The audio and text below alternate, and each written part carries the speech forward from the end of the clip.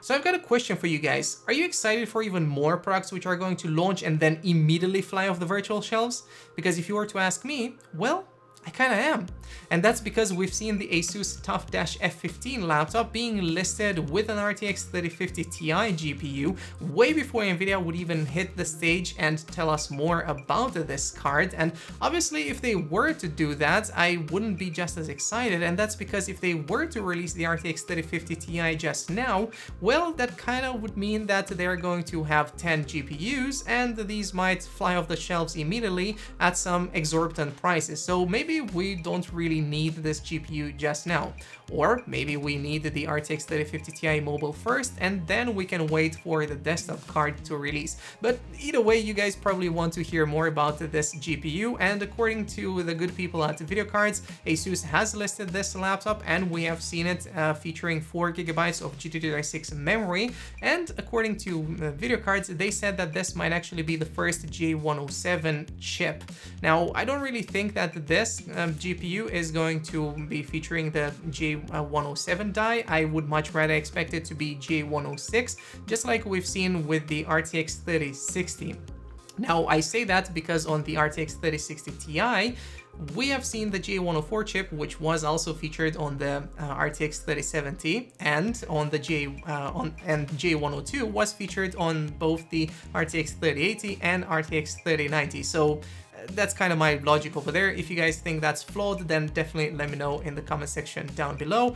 But you might want more information about it. And also from VideoCardz, we learned from a previous leak from Acer that the um, TGP for this GPU might start at 60 watts. And obviously that is going to be the bottom of the barrel. And you're going to see uh, this with 75 watts with dynamic boost or in some higher end um, versions of this card, you might see an even higher TGP. So we're definitely going to have to wait a little bit longer for that. But if you are interested in the Asus TUF F15 uh, with the RTX 3050 Ti, um, we have seen that this is most likely going to get paired with um, Intel CPU. So these, of course, being the i5 11300H, the i7 11370H, or the 11375H on the highest end option.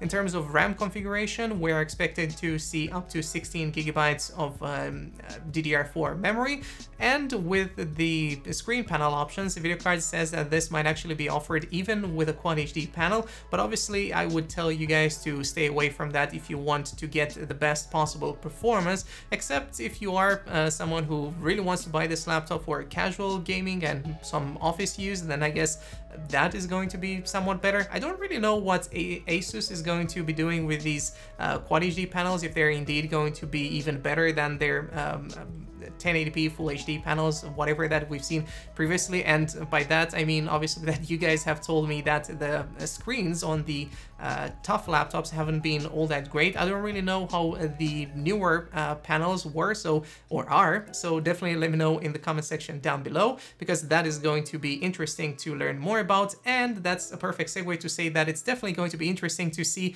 how Hasee, Hasee, whatever you want to call this brand, is going to uh, manage the sale of their upcoming laptops and you guys might be looking at this like huh? What what what brand is this? Well i've done a video talking about them right here in the info cards above. You can check it out. Where i told you that a lot of people in china are using these laptops for cryptocurrency mining. And um, yeah i know not a lot of you uh, have been really happy about that but you might be happy to learn that they are going to be putting rocket lake s cpus inside of these laptops. And again rocket lake s well yeah that's a desktop CPU and it's going to be coming to mobile as well. And we're learning this way before Intel is going to be telling us more about it or even before Intel is going to be officially launching these CPUs and with that in mind these should launch on the 30th of March. And I'm talking about the desktop CPUs we don't really know when these laptops are going to officially launch but you can probably guess that a lot of cryptocurrency miners or maybe I don't I'm not certain about this but maybe we're going to start seeing them in a week week or two because uh, it kind of seems that they are always able to get these uh, way before launch. So if you are going to see uh, these pictures somewhere, then uh, definitely tag me because it means that some people were able to get them early. Either way, let's talk about the specs because uh, we have seen that they're going to be releasing two different series. These are going to be called the Aries TX8 and the TX9, which will also be featuring Intel's 10th gen CPUs, but I guess nobody really cares about Comet Lake right now when Rocket Lake is right around the corner, right? So we're going to be seeing uh, the 11400 and the 11700 CPUs. Those are of course the non-overclockable versions, so uh, non-K uh, that we have also um, seen in the listings where we have talked about Rocket Lake, so another video right here. Either way, the 11400 and the 11700 are going to be paired with the RTX 3060 and RTX 3070 GPUs, alongside 16 gigabytes of RAM, a 512 SSD, and 16.1 inches for the panel, which is definitely something interesting to see in uh, such a form factor right here. So I'm going to have to wait a little bit to see if these laptops are indeed uh, going to uh, go on sale anywhere else than in China.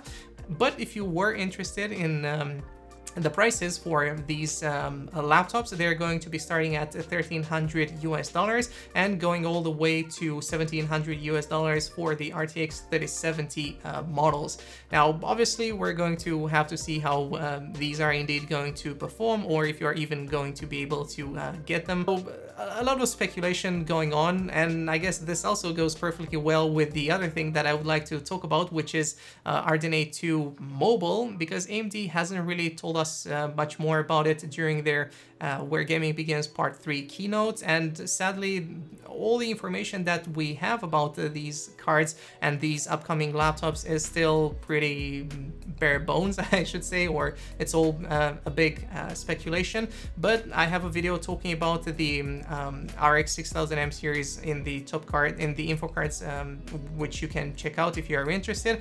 But I would also like to point out that there have been some speculations coming from Patrick Schur um, on Twitter via VideoCardz, and he has said that he expects that Navi 24 is going to start at a TGP of 35 watts and going all the way to Navi 22, he expects that we might actually be seeing a card with a TGP of around 145 watts, but obviously that is speculation, so definitely grab your, uh, or you should have grabbed your uh, salt shakers before taking this information into consideration such a great line right here. And we also don't really know if these are indeed going to be called the RX 6300M or the RX 6800M. So we're definitely going to have to wait on that uh, before AMD is uh, going to do maybe a part four during their uh, for their Where Gaming Begins events. So um, yeah, get excited for that and uh, get excited for a new video coming out.